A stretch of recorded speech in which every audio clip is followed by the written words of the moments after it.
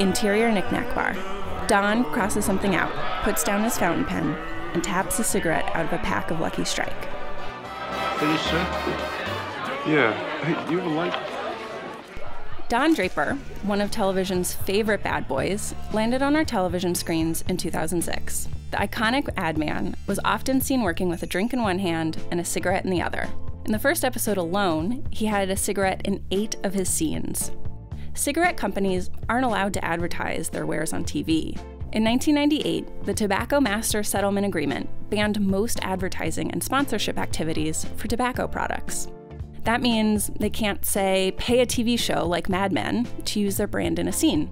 However, shows still do show smoking and packaging for many prominent companies. And exactly how does that affect sales? Chicago Booth's Pradeep Chintagunta and Sanjay Dhar, along with their co authors Ali Goli and Simha Mummalaneni from the University of Washington, explored TV show viewership data from 92 markets in which cigarettes appeared. They find that this product placement increased sales from the cigarette brands featured on screen, and what's more, it also increased sales for competitor brands. The researchers used IRI store scanner data for sales of 15 cigarette brands to collect how many packs of cigarettes were sold from more than 2,700 stores in 41 states. They merged the sales information with Nielsen PlaceViews data from December 2003 to July 2006. The PlaceViews data keeps track of cigarette product placements on network TV. Combining all this with Nielsen Ad Intel data, which tracks how many viewers are seeing a specific show, they were able to determine how many people were exposed to cigarette placements. The researchers created a model to measure how the placements affected cigarette sales. They find that a 10% increase in exposure to cigarette product placements increased sales by 0.2%.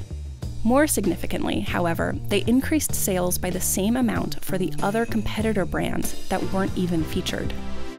These findings imply that cigarette placements raise sales of any and all cigarettes, regardless of which brand is being featured on screen. And the magnitude of these effects are similar to those documented for regular TV advertising.